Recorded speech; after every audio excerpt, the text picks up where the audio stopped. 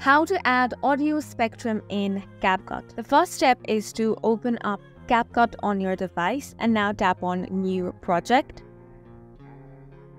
Now from here, you want to select the video in which you want to add audio spectrum, then tap on Add. Once you do that, you want to tap on Text. And now tap on the Stickers option.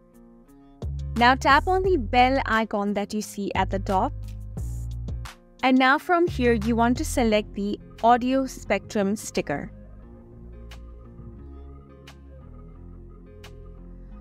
Once you do that, now you can customize this audio spectrum however you want. You can drag this anywhere. You can also rotate it.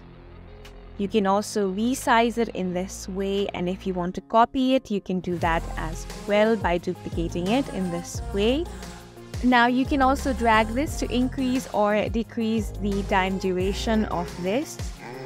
So after you have done all of these changes, you can simply export this by tapping on the arrow icon at the top right corner of your screen. And that is how you can add audio spectrum in CapCut. And that is it for this video. We hope you guys found it helpful. Please make sure to hit the like button and subscribe for more helpful tutorials.